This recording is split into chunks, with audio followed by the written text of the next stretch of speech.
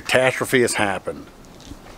I was cleaning my truck, so I took all my stuff out of it while I cleaned out the inside, and it was attacked viciously by a dog. Look at this. Look at this.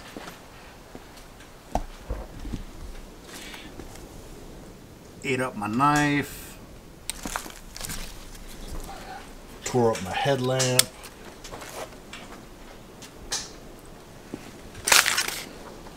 Chewed up my blankets.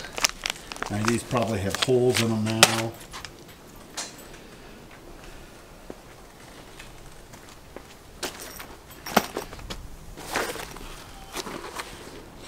Empty bags.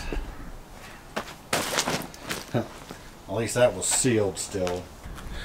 Well, the silver lining to this is I do like equipment and I do like gear, so now I will go through everything with a fine tooth comb, see what was working, what wasn't, and replace as needed. You do this. No, you didn't do this?